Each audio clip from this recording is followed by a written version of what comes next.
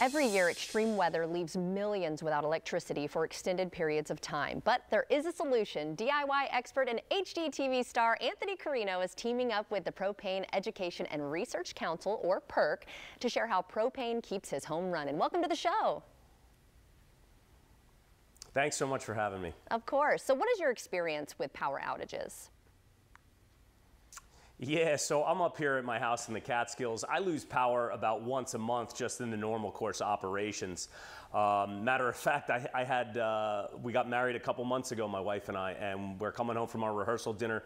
I heard the generator fire up as we were coming down the driveway, uh, which is a good thing because I had 14 people staying at the house. We got married here, so we had a whole bunch of food in the refrigerator. And that peace of mind knowing that even if the power goes out, the generator's going to kick on uh, really just keeps you feeling a whole lot better about the state of your home. Yeah, congratulations, by the way. And of course, you know, being in the South, we have to worry about hurricanes and that kind of thing too. So how does a backup generator work for maybe someone who's never had one? Yeah, so there's a whole bunch of options out there, but um, what I suggest and what I did here at my house is I installed a whole home backup generator with what's called an automatic transfer switch. Uh, so the basic idea here is you'll have a plumber come out and they will pipe your generator to your propane storage tank and then you'll have a licensed electrician come out and they will wire the generator to your automatic transfer switch and then from the switch to the circuit in your home. Uh, from there, you literally don't have to do anything else. When the power goes out, the automatic transfer switch detects it, flips the switch, turns the generator on, and your home is then powered. And that's it. Got that peace of mind. So does it matter then what size home you have? So it doesn't matter what size home you have, but what does matter is the size of the generator mm. to properly size to the size of your home. The ratio. um, so the best way to figure that out, uh, yeah, exactly. So you have different loads based on the amount of appliances you have in your home, electric appliances. Um, I, there, KohlerPower.com actually has a great uh, load calculating uh, load calculator to let you know what size generator you need for your house. Um, Generac and Briggs & Stratton have them as well. You can check them out on their sites. Um, but you ba the basic idea here is you want the right size generator to, so to power your home appropriately. Right. Are there any other benefits to having propane other than making sure you have your electricity when you need it?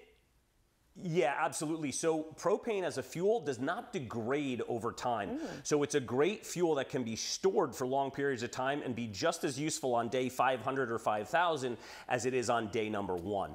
Um, the other thing is that it's much more environmentally friendly than a diesel or a uh, gasoline powered generator.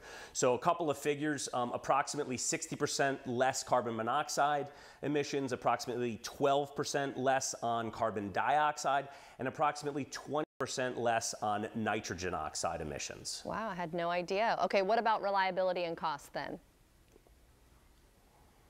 Yeah, so from a reliability standpoint, like I said, you have that automatic transfer mm -hmm. switch uh, the, it, the generator is going to kick on automatically. And because propane is such a stable fuel over time, you don't have to worry about that fuel degradation.